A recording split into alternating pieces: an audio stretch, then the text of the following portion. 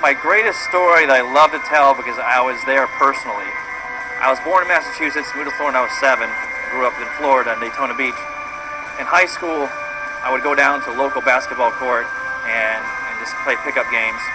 Well, there was a kid there. He was about 10 years old. He was always on that court after school. Always. He loved the game of basketball. And he had a, a great ambition to play, loved the game. And I told him, you go, maybe if you keep this up, maybe someday you'll be in the NBA. He goes, no, I am going to be in the NBA. This is 10 years old. He knew what he wanted to do. Anyway, my mom was kind of a pessimist, ironically.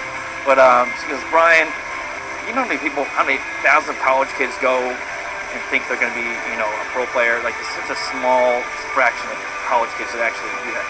I tell him this next time I see him. He goes, no, I am going to be in the NBA. And um, another another fact too that I, I really don't tell this, but um, we would us, most of the high school kids would show up to the park and we would let him play, even though he was smaller than us, because just because he was younger, but he had all that heart.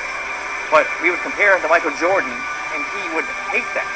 He goes, "I'm not Michael Jordan.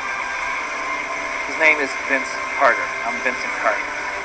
And anyway, now that you know his name, not only making NBA in 1999, he was the Rookie of the Year in the NBA, and every year since, he's still playing. He's been an All-Star game, so I'm very proud of him, and I was his very first fan. So he has millions of fans across the, the world now, and I was his very first, so that's great.